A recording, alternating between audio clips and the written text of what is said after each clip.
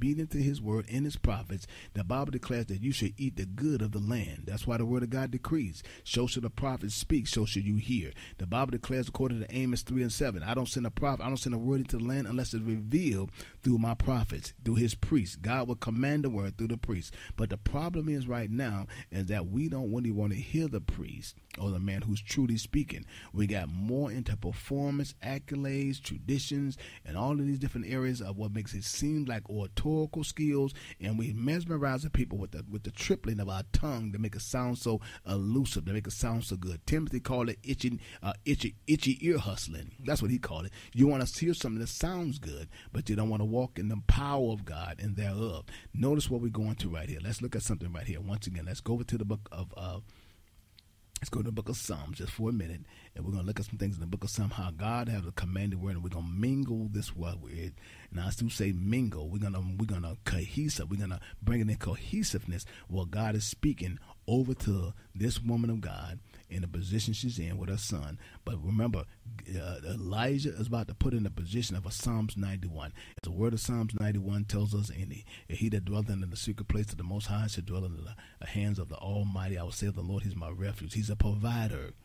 He's a provider, refuge, and my fortress, my God and our trust. When you trust in the Lord and lean not to your own and the knowledge of God in all his way, he'll direct your path. We see that in Matthew 6 and 33. Let's look at what it says in the book of Hebrews. Hebrews makes a very strong word about the same purpose. How we as men and women God got to believe that every word that proceeds out of the mouth of God goes forth. He says that in Isaiah 55 11. But also, Hebrews makes a very good stand about the process of believing, trusting, and knowing that God will provide, even though I don't see it. He says in Hebrews chapter 1. He said, Now faith is a substance of things, hope for the evidence of things not seen. I can't see it, but I hope and expect and believe by faith, knowing that God will do just what He says He's going to do. Because He said in His Word, according to the book, was it uh, He? Uh, what is it? Numbers 23, 19, 21. I'm not no God that I should lie, and not a son of any man that I should have to repent. I've been given a command to bless, and I cannot reverse it. He said that they got a, a what they call uh, the elders gained a good report. They saw the things that God did in the land with the very word that He spoke into their hearts, knowing that God was going to do everything He said He's going to do. This is the same word He's speaking to this woman of God over here in the book of First Kings, chapter 17. And Elijah said unto her, Fear not, go and do as I said in the 13th verse. And she went and did just what the prophet told her to do. And guess what? She came out on top of everything that she needed. The same thing God is saying to you. He puts a Jeremiah 32 and 17 all up in your mix. And He gets you to understand what a Mark 9 and 23. And then with the Mark 9 and 23, He tell you are protected by the Almighty that even no weapon formed against you shall prosper.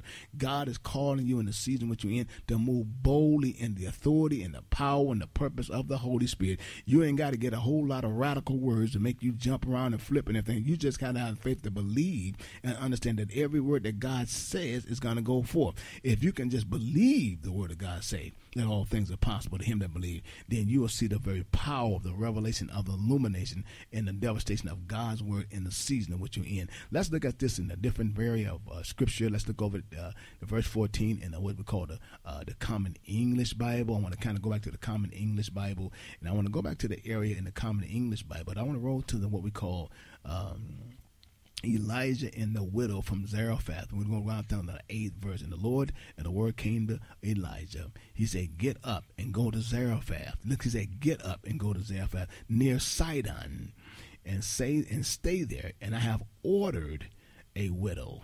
The woman of God she didn't even she may have heard the word of God, but she didn't see a prophet, no insight. She didn't see a man, no insight. All she knew that she had to gather some sticks and had a little oil, a little bread, and their son they was about to eat the last meal and probably sat there and rotting in a little cabin that they had. No, no doubt in my days, those days was the days of famine back then. When you read a little bit about the story, it was hard times going on back then. And they said that once again in the eighth verse, the Lord, um, the, the, word of the Lord came to Elijah, said, "Get up, rise up, go to Zarephath, you know, near Sidon, and stay there. I have ordered a widow there." To take care of you. The King James Version says she sustained him. In the Amplified Version, he said, Behold, go to Sidon and stay there, for I have commanded a widow, to provide for you. He's going to be a provider for you in the midst of a situation. He's a God that will do everything He said He's going to do according to His word. I'm telling you, ladies and gentlemen, I've been having so much problems on this very uh, system today that I don't believe the enemy wanted this word to come forth because I know it's not about Elijah and the widow. It's about you. What have you been dealing with in your life? What have you been going through? What's been holding you back? What are some of the answers you see that's unanswered to you that you can't wait on God, knowing that if He's going to do something for you, He said He's going to do it. I'm telling you, a lot of times in this ministry, I have setbacks back and wonder how things gonna get done. But I stayed faithfully to God. I have stayed on my knees. I believe my wife is right there with me, and it's good that when you got a person that really rolls with you, it makes it a lot better. I'm telling you, man, the woman of God, you just don't know how sometimes critical things can get in your life. But when it seems like things are not gonna work out, when you understand and knowing that God's going to do just what He says to do, you will understand that even as this widow was going out to gather sticks, there's no doubt that the Spirit of the Lord had spoke to her, but she was going on with the mindset knowing if I live, I live, I die, I die. I believe God in the midst of all my destruction. But here it comes a man staggering through the gate. Remember, it's a phantom in the land. Has been no rain or anything going on back there. Here's a man comes staggering to the gate, a prophet, and says, Look here, get me some bread and give me some water. And I'm telling you, your whole situation will change in two minutes. And I'm telling you, when she did just what the prophet said, everything in her life changed. It takes one person to take you from the prison to the palace. But it takes one person as being you to be obedient to what he, the word of God has to say from the man he put in a position to help you. I don't know where you are, as I said before. I don't know what situation you're dealing with, but I know one thing: God is not a God that he shall lie. He's not a son of any man that he should have to repent. He's been given a command to bless, and he said in his word he cannot reverse it. I am Pastor Charles Ellis here at Harvest New Life Church and Harvest New Life Studios here in the city of Dallas. For more information about me and the work I do at Harvest New Life Church, you can contact me at harvestnlc at gmail.com or you can call 214-870 2146. Also, there's a website in place. It's called harvestnewlifechurch.com. You can go to and seek about all the information, the work we're doing here at Harvest New Life Church. We're not trying to be ahead of anybody else. We're just trying to do the work what God called us to do. So God bless you and God keep you in the season what you're in. I pray that everything go well for you guys on this upcoming holiday. Happy Fourth to you guys. I thank God for you, and I may God continue to bless you richly in every and all parts of your life. Amen. God bless you guys.